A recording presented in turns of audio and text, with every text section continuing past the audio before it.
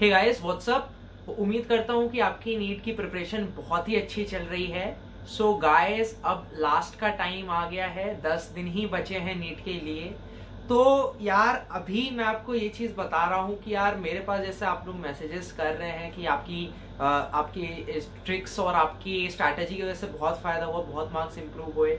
So what I से कि यार जो मेरा कंट्रीब्यूशन था वो यार पाँच से दस परसेंट ही रहा यार। मैंने आपको बस एक डायरेक्शन दिखाया वो मेहनत आपकी थी ठीक है? मैंने आपको डायरेक्शन प्रोवाइड किया ठीक है? लेकिन यार वो आपकी मेहनत है जिसका आपको रिज़ल्ट मिल रहा है। और मैं यार हर बार यही चीज़ कहता हूँ कि अगर आपने हार्ड वर्क किया वो भी राइट डायरेक्शन में तो यार सक्सेस आपको ज़रूर मिलेगी मिलेगी। सो so, गाइज़ यार अभी जो है जो नीट है उसका लास्ट टाइम प्रिपरेशन का टाइम आ गया है। और अभी हम लोग को जो गेम है इसको स्ट्रैटेजिकली प्ले करना है। मतलब कि यार, अभी जो है this is the deciding time ठीक है? मैं आपको एग्जांपल से बताता हूँ। मान लीजिए आपका स्टेट है, उसमें कट ऑफ़ फॉर एग्जांपल 500 गया, ठीक है? और आपका जो मार्क्स है 490 आया तो यार, आपको बहुत ज़्यादा गंदा लगेगा। अगले पूरे साल जब आप ड्रॉप करोगे तो आपको पूरे टाइम यही चीज़ गंदा लगता रहेगा कि यार, आपके दो क्वेश्चन से जो सिलेक्शन है, वो वो रुक गया। एंड सिमिलरली यही होगा कि यार और ऐसा नहीं कि यार इस बार हो गया तो आप सोचोगे अगली बार नहीं होगा अगली बार भी सेम थिंग्स विल रिपीट ठीक है? जैसे यार आप लोग पबजी खेलते हो सो so, उसमें यार अगर इनिशियली हम लोग हार गए तो उसमें बुरा नहीं लगता लेकिन अगर लास्ट में अगर उसमें अगर आपके 10 से 15 प्लेयर ही बचे हैं और आप उस वक्त हारते हो गेम को तो यार उसमें सबसे बुरा लगता है कि चिकन डिनर नहीं मिलता जो आप लोग खेलते हो ठीक है? So similar is the present case ठीक है? सो यार एवरीथिंग डिपेंड्स अपॉन यार अभी का जो आपके पास टाइम है, उसको आप कैसे यूटिलाइज कर सकते हो? हो सकता है कि यार आप अभी अगर मेरे इस सेशन से आपको कुछ समझ में आ रहा है तो यार अभी का आप टाइम यूटिलाइज करो और उसकी वजह से ये जो आपका मान लीजिए ऐसा अगर केस होता तो यार ऐसा भी तो हो सकता है यार कि आपने इन इस टाइम को आपने यूटिलाइज करके जो आपका था 490 के जगह 510 भी तो आ सकता है। अगर 10 नंबर कम आ सकता है, कम टाइम यूटिलाइज करके तो 10 नंबर ज़्यादा भी तो आ सकता है और कॉलेज भी तो बेटर मिल सकता है, ठीक है? सो यार, अब बिल्कुल भी टाइम नहीं वेस्ट करना है ये सोचते हुए कि यार कि कैसा होगा नीट या क्या करें हम लोग, ठीक है? अभी हम लोग को क्या करना है, बस फोकस करके पढ़ते रहना है, ठीक है? और यार, आप लोग मुझसे यार क्वेश्चन पूछ रहे हो कि यार कि स्लीप कितनी लेनी चाहिए? यार, एक तो मेरे पास एक आया कि क्या in the last fifteen days sleeping with two three four hours will do my मतलब कि उससे मैं अच्छा कर लूँगा। यार अब चिल करो यार अब ज़्यादा टेंशन नहीं लेना ठीक है? आपने जितना दो साल पढ़ाई की अब उसका मेहनत का फल आएगा ही आएगा। आप सोओगे कम तो यार उससे टेंशन ज़्यादा होता है ठीक है? फॉर एग्ज़ाम्पल मैं कहता हूँ कि यार आप, आप मान लो चार घंटा सोते हो एज कंपेयर टू आप छह घंटा सोते हो ठीक है? सो यार आप जब चार घंटा सोते हो तो आपके पास अट्ठारह वर्किंग आवर्स होते हैं। वहीं आप अगर छह घंटा सोते हो तो सोलह वर्किंग आवर्स होते हैं। एक बात बताओ मुझे कि अगर आपने चार घंटा सोना स्टार्ट कर दिया, तीन चार घंटा स्टार्ट कर दिया तो क्या वो बाकी का एटीन आवर्स आप इफिशियंटली पढ़ पाओगे? नहीं यार, बीच में तो आपको नींद भी आएगी, आँख में दर्द होना स्टार्ट हो जाएगा। तो ये बिल्कुल नहीं करना है। एटलीस्ट आपको पाँच घंटा मिनिमम उतना तो सोना ही सोना है, ठीक है?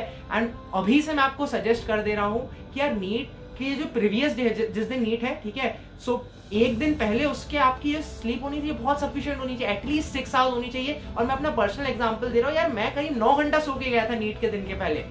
ठीक है? और उससे यार आपका माइंड आपका इंप्रूव होता है, आपकी जो कॉमन सेंस आपका ज़्यादा आता है, आप सिली मिस्टेक कम करते हो। So sleep is very very essential और अब एक बात बताओ यार कि इतना कम टाइम बचा है, ठीक है? आप एक घंटा अपनी स्लीप से रिड्यूस करके हर रोज मैं कहता हूँ आप ज़्यादा पढ़ भी लेते हो तो पूरे दस दिन में आप दस घंटा एक्स्ट्रा पढ़े ना? उससे ज़्यादा तो नहीं हो पाया ना?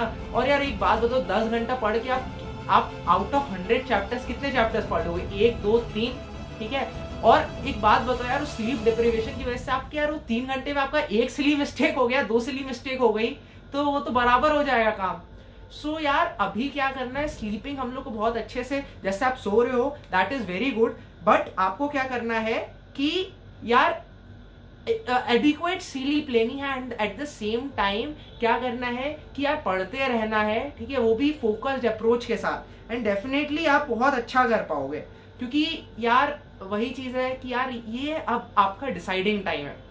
And what I will suggest is कि यार, देखो, यार, पाँच को आपका एग्ज़ाम है, ठीक है? दो तारीख तक आप अपना प्लान बनाओ। मेरे से मत पूछना कि मैं आपका प्लान बनाओ खुद अपना प्लान बनाओ और ट्राई करो कि दो तारीख तक, दो टू सेकेंड ऑफ़ मे तक अपना कोर्स खत्म करने का एक टाइम टेबल बनाओ और थर्ड फोर्थ को आप यार आराम से पढ़ाई करो, बिल्कुल चिल होके। और उसमें क्या पढ़ना है? ठीक है? एनसीआरटी बायोलॉजी की पढ़, उठाई, ठीक है? उसको यार बस पेजेस पलट लिए, जो जो आपने हाईलाइटेड किए वो देख लिए, ठीक है? यार आपको लग रहा होगा, भूल गए हो यार, नहीं टेंशन लेना। आप अगर सामने से निकाल लो, अपनी आँखों से बहुत चांसेस है आपको याद आ जाए।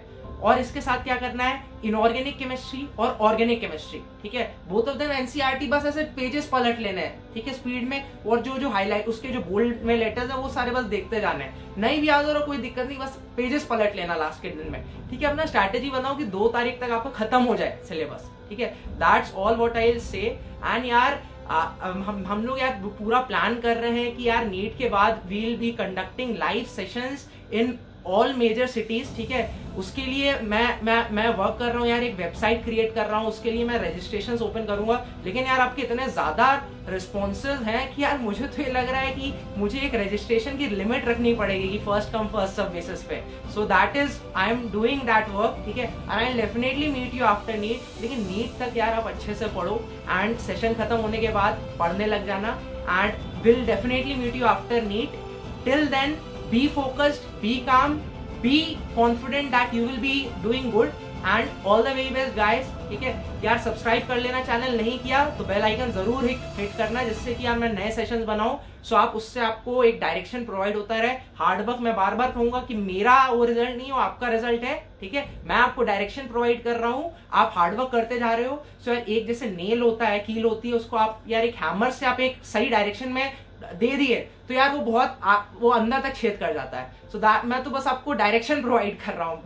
मेहनत तो आप कर रहे हो ठीक है? So do that all the very best guys. Thank you very much for watching.